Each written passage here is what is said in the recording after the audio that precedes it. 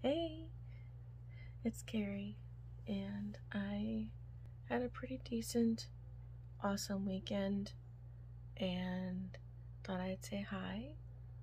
And I'm gonna do some more Palo Santo and Sage because I have so many energies and I can feel that I just don't have, I'm not energetic. So I am going to do some Sage and Palo Santo and thought you'd like to share.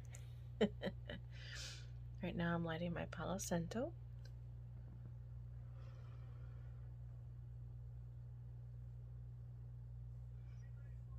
I have my window open, so hopefully a fire alarm doesn't go off. I'm always afraid of fire alarm going off.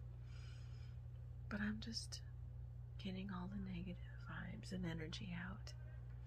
I hope that your weekend and your week's going real well. What are you manifesting? Give me a comment. Is there anything that you're hoping for to happen this week? Looking forward to? I'm going to be posting some more jewelry. I have some ideas I'm going to be posting. So, yes, I'm excited about some things. Just getting things going.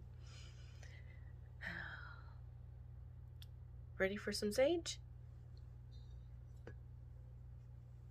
Sage doesn't take nearly as long to light. But yes, gonna get some sage going here.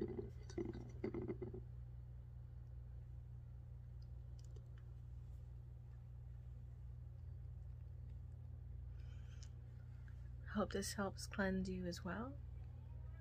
I always can use a little cleansing. Get rid of all those negative vibes and yuckiness.